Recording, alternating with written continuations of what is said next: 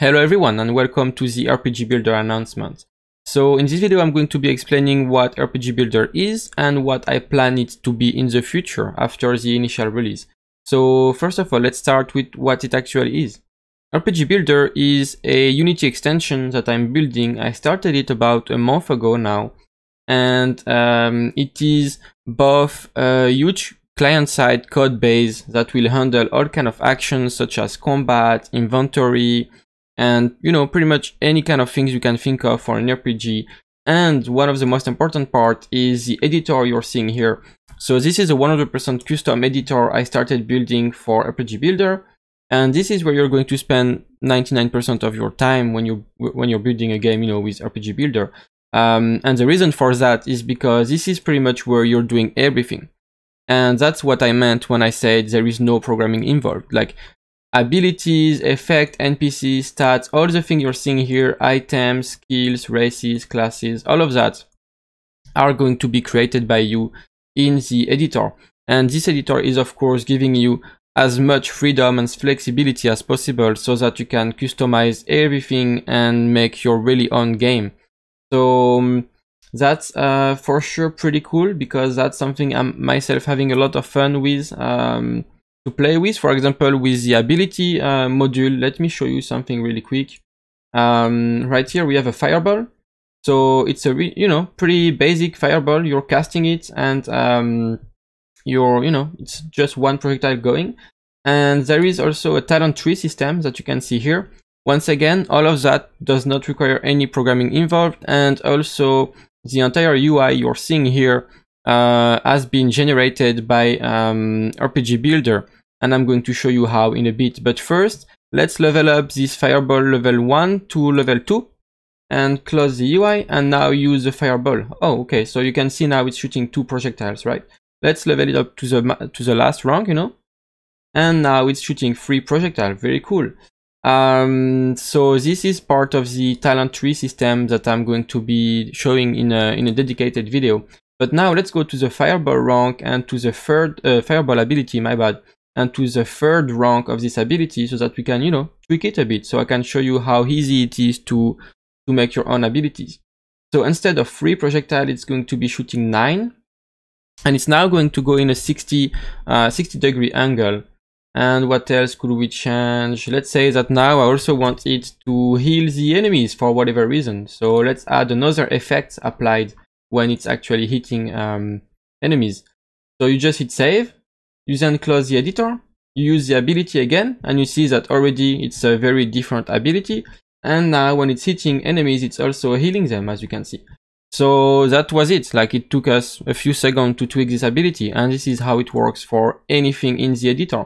And the beautiful thing is that, as you can see, we did it right in game, like you don't have to restart uh, your game or anything. So you can tweak things very, very quickly.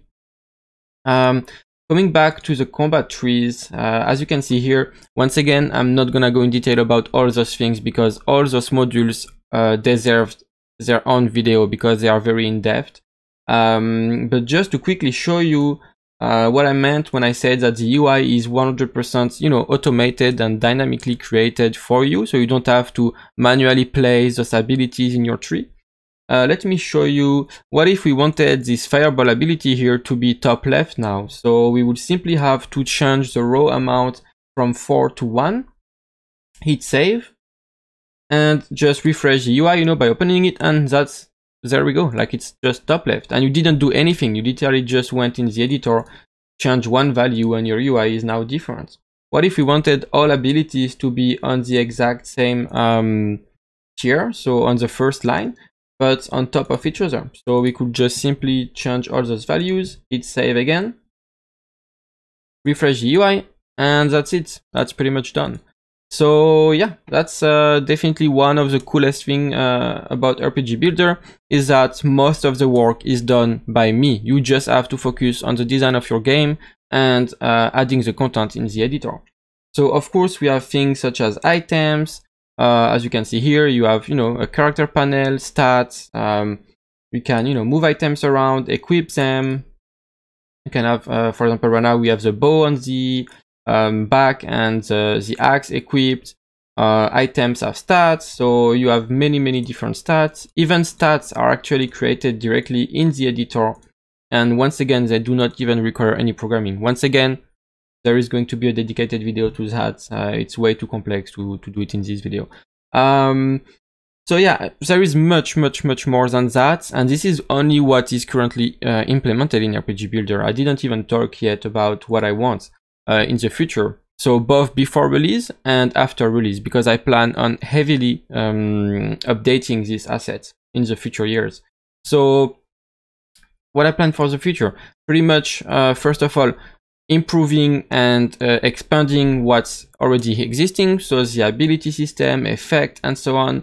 And of course, adding new modules just like that. Um, the AI is also going to be receiving a pretty big update in both terms of movement and um, combat. So you will be able to create very, very fun bosses and uh, enemies and or even allied NPCs, stuff like that. There is going to be a quest system. There is also going to be a dialogue system. And uh, I also, yeah, also I plan to uh, implement gathering and crafting. And the very, very cool thing about gathering and crafting that I plan to do is that I'm going to be um, porting the combat tree system to also gathering and crafting. So you will be able to have trees, for example, for your crafting uh, profession. So for example, you could have a blacksmith uh, tree where you actually learn your recipes from the tree and upgrade them and so on. Um, once again, it's way too in-depth to uh, cover this in a short announcement video, but you get the idea.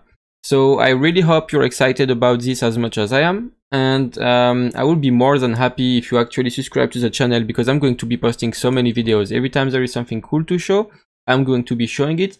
And on top of that, um, consider joining the Discord so we can actually start chatting. And also feel free to ask any question, obviously, but also suggest anything. Like if you think something will be cool and will be fitting with the RPG Builder assets, uh, I'd be more than happy to add it to the wishlist and um, possibly add it in the initial release or in a later update. So thank you very much guys for watching and I see you in the next video.